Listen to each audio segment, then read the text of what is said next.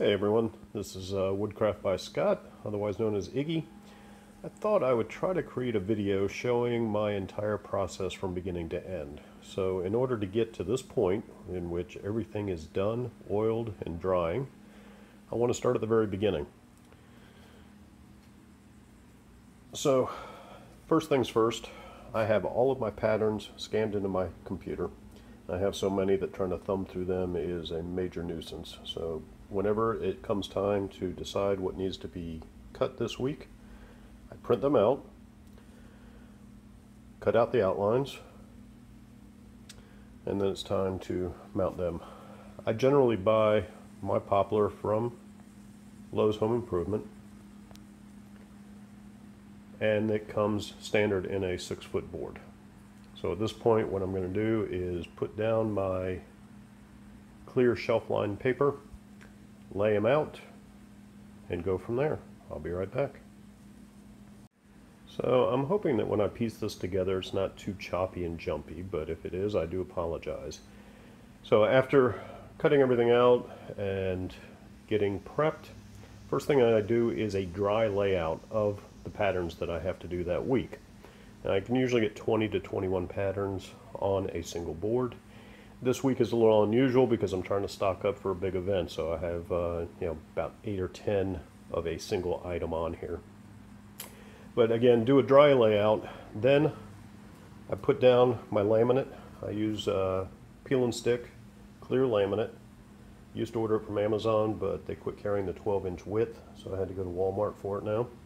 I can still order online and have it delivered for free if there's more than $35. After the dry layout, I snap a picture of how I laid them out. And then I spray using 3M 45 general purpose spray adhesive. I spray about half of the board. What I have found, especially during the summer, is that if I spray the entire board, by the time I get back to laying out all of the patterns, it has somewhat dried and the patterns don't stick as well. So spray about half the board. Using the picture that I took, I lay out the patterns as they were and I stick them. Now, one thing that I do use is after I have laid them all out, I have this little hard roller that I bought and afterwards I go over the entire surface making sure that I've got good contact and good adhesion of the pattern to the peel and stick laminate. Alright, so after doing the layout and putting the patterns on the board, I then cut the board into manageable pieces, usually two, three, or four animals to a piece. And then we finally get to step into the magic room. My cutting room is surrounded in plastic. I did not want sawdust getting all over the place, so I work in here. So, take my pieces with multiple animals on them. I then cut the outline of each animal. I usually stack up 10 at a time. That's my goal each day is to do 10 puzzles per day. So as an example, cut the outline of the seagull. Then once they're cut, I've got them stacked up. I then take them to the drill press and drill holes for all of the closed lettering and other items that will need an inside cut. Once the holes are drilled, stack them back up, have them ready to cut, and then cut each one into its finished product. After being cut, they go to my finish area.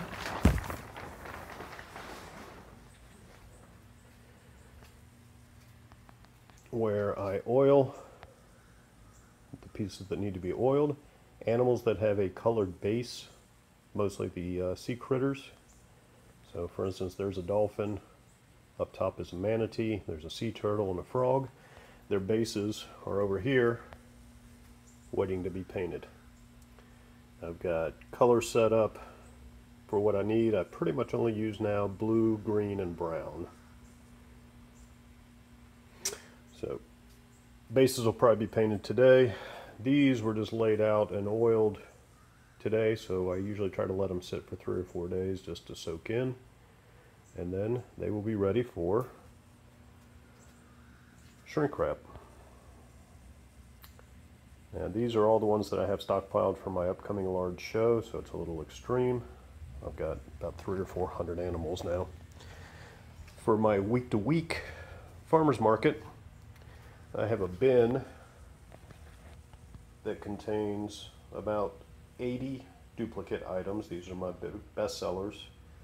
I take those, those with me every week. The bin down below are my kids puzzles. I take about 70 to 80 of those also to the farmer's market every week.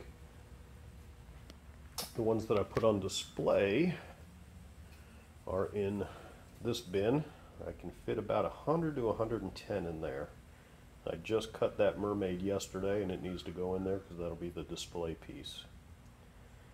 This is my bin of miscellaneous stuff for my shows, uh, order forms, etc. Those are my displays that I built for my tabletops.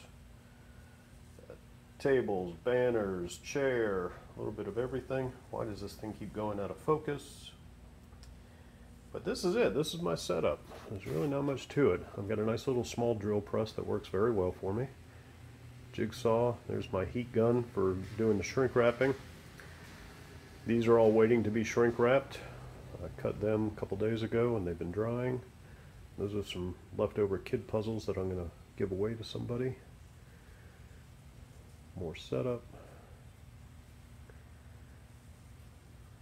That's about it. I cannot think of anything else to uh, display or show, but if you have any questions at all, I look forward to hearing from you. Thank you.